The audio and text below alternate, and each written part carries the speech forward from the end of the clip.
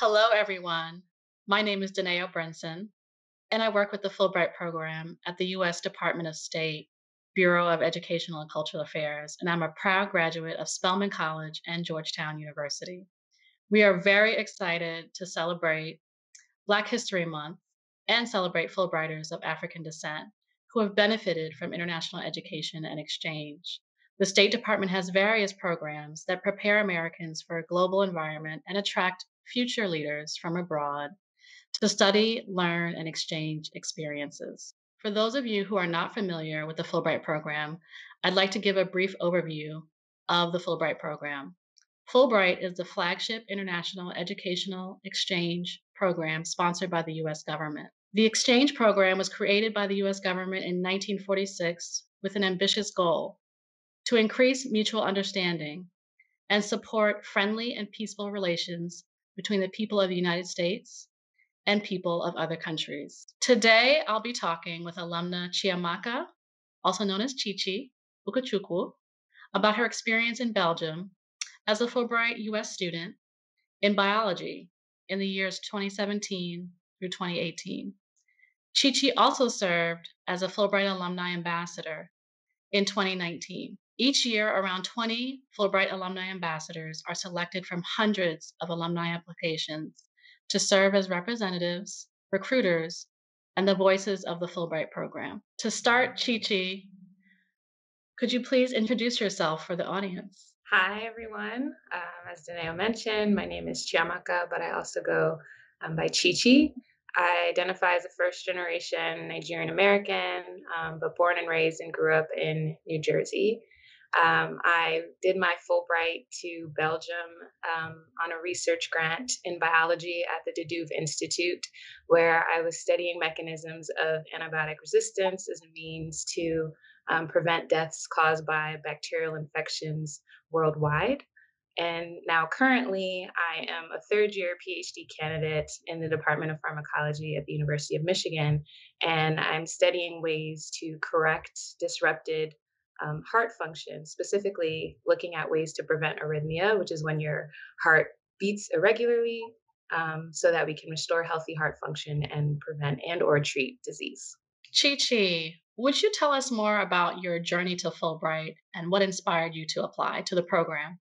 Yeah, I've always wanted to travel abroad, but really live like a local. I didn't really want to have like a touristy experience. And I started thinking about this towards the time of finishing um, my master's program. And I was thinking, what could I do where I could have that intercultural experience that I wanted while also doing something meaningful that would have a positive impact on the world through science? And so I wandered over to our career center on campus and reached out to an advisor and said, Hey, I would love to move abroad and possibly continue doing science for a year or two and they referred me to our International Institute. And so I went over there and met with an advisor there, Bill Nolting, who then told me about the Fulbright program. He's like, oh, this would be a perfect fit for what you're interested in. Um, they have a number of different grants, but they also have research grants where you can work as a scientist overseas in a country of your choice. So then I was like, yeah, this is perfect. Like, this, this is literally exactly what I was looking for. So I was so excited to hear about that. And pretty much from that point on, um, I glued myself to the hip of the International Institute. Um, I talked to my advisor, Matt Chapman, about um, helping me find labs overseas that were doing work um, that I had expertise in. Um, and from then on, I just went full steam ahead to prepare an application. With that being said, what advice would you give to others interested in applying to the Fulbright program? I think the biggest piece of advice I have for anyone interested in applying to Fulbright is networking. And by that, I mean reaching out to people that you know, anyone and everyone, whether that's colleagues, other scholars, definitely advisors.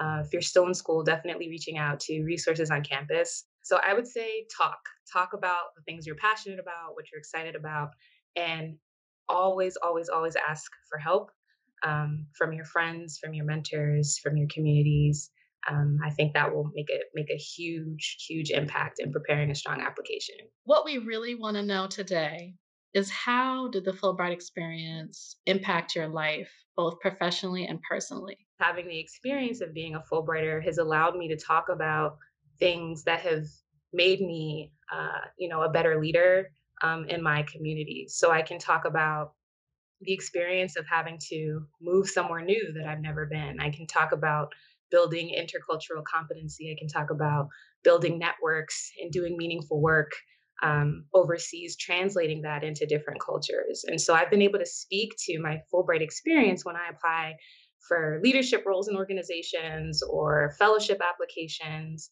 Um, you know, being representative, uh, a, a, representative on my campus for um, certain groups. And then I would say personally, the biggest thing that comes to mind is I think Fulbright really just kind of raised the bar to new heights for me. I think prior to going on this grant, I just, you know, I would see people move abroad or do kind, you know, exciting work or research overseas and just kind of feel like that wasn't something that I could do or, you know, there was just a certain type of person that's just like built for moving overseas.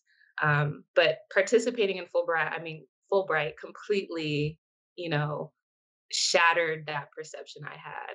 Um, now I feel like I can move anywhere um, overseas. I can do anything anywhere if I put my mind to it and just, you know, work really hard. Chi Chi, while you were on your Fulbright program, you were inspired to create Fulbright Noir. Tell us more about that, um, what inspired you to do so, and how it developed. I started Fulbright Noir um, after realizing that I was the only Black person in my cohort at the start of the grant.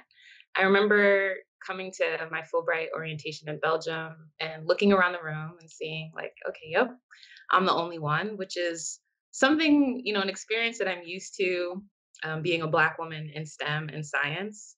And so while I wasn't entirely surprised, I did feel kind of just disheartened, um, mainly because, you know, being a part of this program was just such an exciting and amazing and wonderful experience. I just thought, wow, like I wish more people like me that identified like me could could participate in this. And so the first thing that came to mind was, you know, let's, you know, create a platform where Black scholars can see themselves represented. Um, I think, you know, I recognize the value and the importance of seeing yourself in the positions that you aspire to be in. So I was inspired from the Instagram account Travel Noir, which highlights Black people who travel all over the world. And so that's where the name Fulbright Noir came from.